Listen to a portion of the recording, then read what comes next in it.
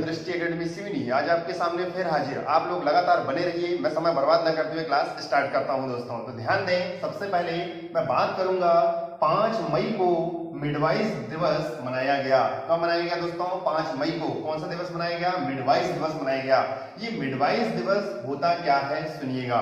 मिडवाइस दिवस वो होते हैं जहाँ हमारे पर महिलाएँ एवं बच्चों की जो आवश्यकताएँ पूर्ति होती हैं तो हमारे पर इनके लिए लोगों को जागरूकता फैलाने के लिए हमारे पर क्या मनाया जाता है? मिडवाइस दिवस मनाया जाता है। लेकिन आपको पता होना चाहिए, पाँच मई को इस बार एक दिवस और मनाया गया है। तो कौन सा है वो? तो आपको ध्यान दीजिएगा। विश्व हाथ स्वच्छता दिवस। कौन सा? विश्व हाथ स्वच्छता दिवस। अब ध्यान दें दोस्तों, ये जो विश्व हाथ स्वच्छता दिवस है ये हमारे यहाँ पर मई माह के पहले मंगलवार को मनाया जाता है। ध्यान दें तो पहले मंगलवार को हमारे पर कब पड़ा है ये? तो पाँच मई को पड़ा है। इसलिए ध्यान दें आप लोग कि हमारे यहाँ पर इस दोनों को जो मनाता है वो कौन मनाता है? तो डब्ल्यू एच ओ मनाता है। इसका फुल फॉर्म होता है वर्ल्ड हेल्थ ऑर्गेनाइजेशन होता है।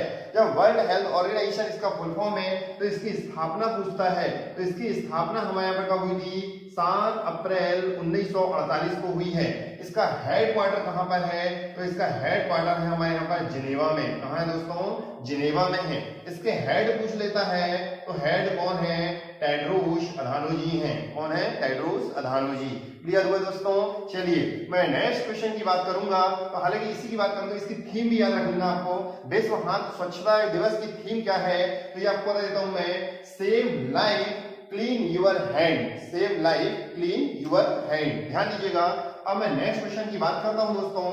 I for India consult I for India consult Facebook ने शुरू किया। अब ध्यान देना फेसबुक ने शुरू किया है और आई फॉर इंडिया कंसल्ट इसमें तीन विचार रखे गए हैं। कितने विचार रखे गए हैं दोस्तों? तीन विचार रखे गए हैं। उन विचार के बारे में आपको बता देता हूँ। फ़र्स्ट विचार क्या है इसमें? तो पहला विचार है कि हमारे यहाँ पर लोगों क्या होना चाहिए? मनोरंजन होना चाहिए। तो मनोरंजन हमारे यहाँ पर होगा, पहली बात तो ये होगी।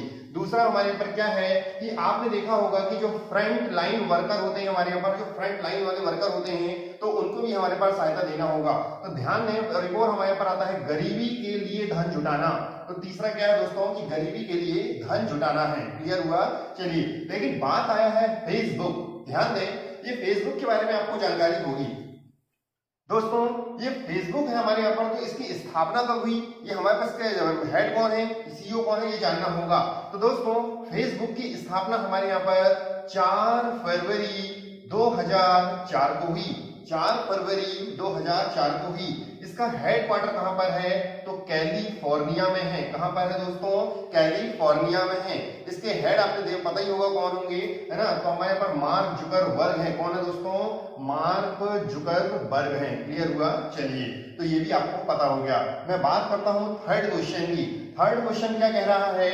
वर्तमान में यूनेस्को है ना? गिलर्म कैनो प्राइज किन्ने जीता है हमारे यहाँ पर? जिने विडोया ने जीता है। किन्ने जीता है दोस्तों, है ना? तो जिने विडोया लीमा ने जीता है। क्लियर हुआ?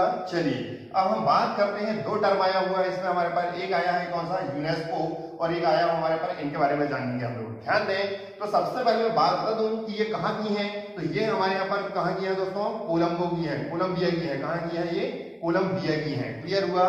चलिए, अब मैं बात करूँगा यूनेस्को के बारे में। इसका फुल फॉर्म होता है United Nation Education Scientific Culture Organisation क्या होता है दोस्तों? तो एक बार और बता देता हूँ मैं United Nation Education Scientific Culture Organisation clear हुआ? इसकी स्थापना पूछ लेता है तो इसकी स्थापना हुई थी 4 नवंबर 1946 को हुई है। कब हुई है दोस्तों? 4 नवंबर 1946 को। इसका हेड क्वार्टर भी आपको पता होगा कहाँ पर है? तो पेरिस में है। कहाँ पर है दोस्तों? पेरिस फ्रांस में आता है, आपको ये भी जानकारी होगी। लेकिन आपने नाम सुना होगा हमारे इनके हेड का तो इसके हेड कौन है? तो आंद्रे अजोले हैं। तो आंद्रे अजोले कौन है? इसके हेड हैं। क्लियर हुआ दोस्तों? चलिए, मैं बात करूँगा नेक्स्ट क्वेश्चन की इसमें। तो रूस ने आर्कटिक जलवायु और पर्यावरण, आर्कटिक जलवायु और पर्यावरण निगरानी के लिए पहला उपग्रह लॉन्च किया है। पहला उपग्रह लॉन्च किया है, ये है क्या? ध्यान दें।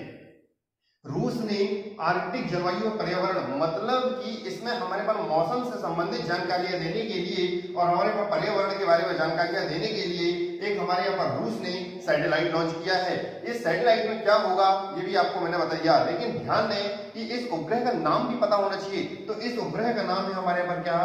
तो आर्कटिक एम वन है। क्या दोस्तों?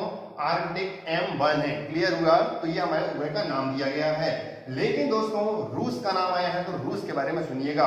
तो रूस की जो राजधानी है, आपको पता होगा तो हमारे पास क्या है? मास्को क्या है दोस्तों? मास्को और यहाँ पर सवाल तो आपको पता है करेंसी यहाँ की।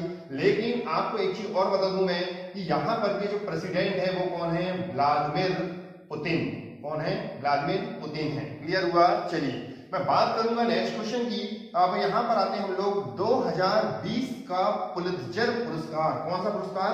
पुलित्जर पुरस्कार। ये पुलित्जर पुरस्कार दिया किस क्षेत्र में जाता होगा? ये भी ध्यान देना होगा। तो दोस्तों, ये पुलित्जर पुरस्कार हमारे पत्रकारिता के क्षेत्र में दिया जाता है। कब दिया जाता है दोस्तों? पत्रकारिता के क्षेत्र में दिया जाता है। लेकिन आपको ये भी पता होगा कि आपने नाम सुना होगा जोसेफ पुलित्जर जोसेफ पुलित्जर के हमारे यहाँ पर उनकी याद में ये पुरस्कार बनाया गया है तो उनके नाम से दिया जाता है। लेकिन ये भी बता दूँ कि इसकी स्थापना ये कब से दिया जा रहा है तो उन्नीस सौ सत्रह से दिया जा रहा है। ये भी ध्यान देना। लेकिन आपने देखा होगा कि हमारे यहाँ पर क्या कोलंबिया के एक विश्वविद्यालय है जिसका देख रहे क्या निगरानी इसमें रखता है। क्लियर हुआ दोस्तों?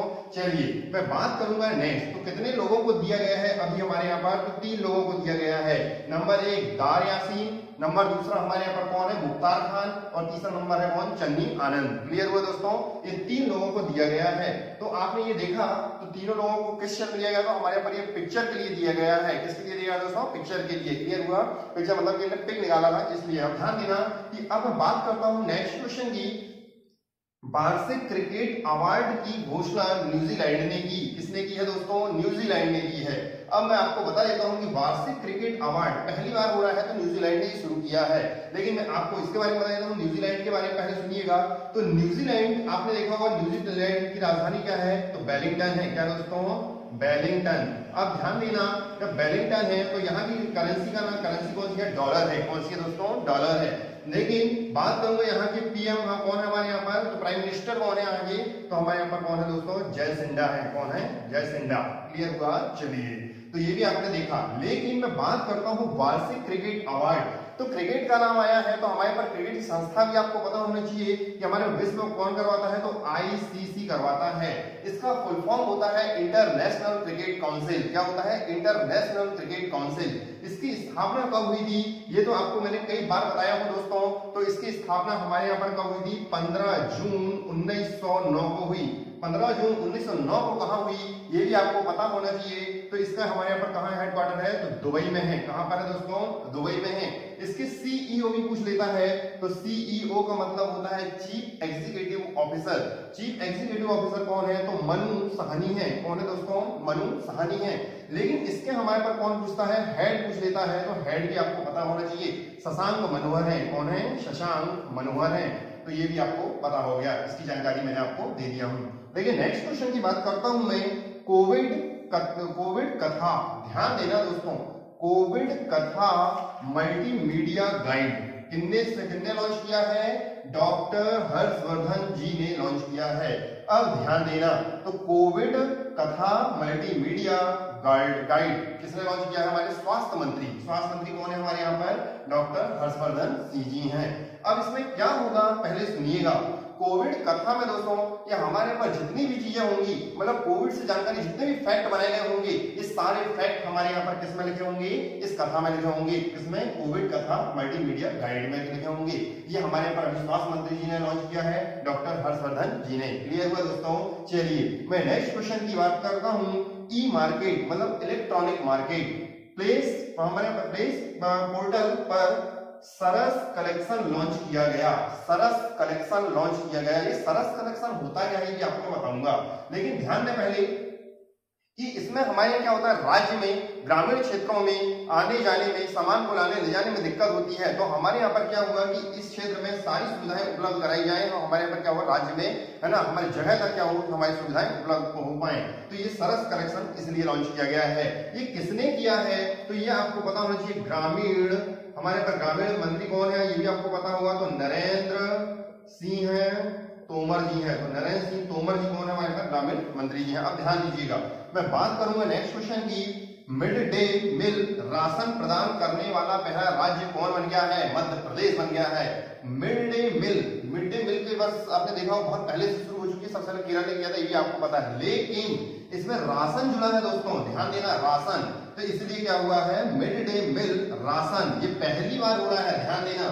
तो ये हमारे पास किया है, प्रदान करने वाला पहला राज्य कौन सा बना है? मध्य प्रदेश बना है। ध्यान दीजिए, ये मध्य प्रदेश है, इसमें क्या होगा? तो मिड डे मील राशन में क्या होगा? इसमें लोगों को जो अभी हमारे यहाँ पर आप देख रहे हैं, बहुत ज़्यादा कोविड महामारी चल रही है कोविड नाइन्टीन महामारी चल रही है। इसमें बहुत सारे लोग हमारे यहाँ पर क्या है कि जिनको भोजन नहीं प्राप्त हो पा रहा है तो इनको इन्हीं के माध्यम से हमारे पास मिड डे मील के माध्यम से हमारे पे क्या होगा, भोजन वहीं पर बनेगा और लोगों को वहाँ तक पहुँचाया जाएगा। तो ध्यान दें तो ये हमारे पास मध्य प्रदेश ने दिया है तो मध्य प्रदेश के बारे में आपको पता होना चाहिए। मध्य प्रदेश की राजधानी भोपाल है और हमारे यहाँ के सीएम कौन है तो ये भी आपको जानकारी होगी। कौन है? तो शिवराज सिंह चौहान जी हैं और यहाँ की लालजी टंडन कौन है? गवर्नर हैं। क्लियर हुआ? चलिए मैं बात करूँगा नेक्स्ट क्वेश्चन की। वैज्ञानिक प्रकाशन के मामले में भारत कौन से स्थान पर है? तीसरे स्थान पर है। क्या बोला है? वैज्ञानिक प्रकाशन। ये वैज्ञानिक प्रकाशन क्या है? पहले ये देखना होगा। दोस्तों कि आपने देखा होगा कि हमारे यहाँ पर कितने लोग विज्ञापन कर रहे हैं, कितने सबसे ज़्यादा विज्ञापन किसने किया है? तो ये वैज्ञानिक वैज्ञानिक प्रकाशन बोला है इसको। लेकिन हमारे यहाँ पर सबसे ज़्यादा किसने किया है? पहले ये भी तो बता तो पहले हमारे यहाँ पर किसने किया है? तो चाइना तो सबसे आगे कौन है दोस्तों? चाइना है। सेकंड में कौन है? तो सेकंड में है अमेरिका। कौन है दोस्तों? अमेरिका है। लेकिन ये भी आपको पता होना चाहिए तो थर्ड स्थान पर हमारा कौन सा है? भारत है। क्लियर हुआ? चलिए। तो मैं बात कर रहा हूँ दोस्तों इसके बारे में। लेकिन ये कभी भी ये पूछ लेता है कि यह डाटा कब का है? तो ये डाटा हमारे यहाँ पर 2008 से लेकर 2018 तक का है। तो ये 10 साल का डाटा लेकिन ये कब हुआ है तो ये 2020 में हुआ है, ठीक है? तो ये आपको पता हो गया। तो सबसे ज़्यादा हमारे यहाँ पर कौन कर रहा है? विज्ञापन चाइना, फिर दूसरे में अमेरिका, और तीसरे में कौन है? भारत है। क्लियर हुआ दोस्तों? चलिए, आज के लिए हम लोगों ने 10 क्वेश्चन आपके सामने पेश किया। आज के लिए इतना ही दोस्तों। मिलेंगे कल। Good night